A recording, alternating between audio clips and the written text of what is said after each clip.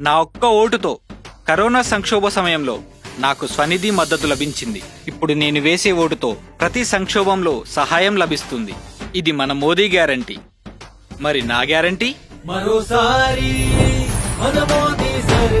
కమలం పువ్వుకు ఓటేద్దాం బీజేపీని గెలిపిద్దాం.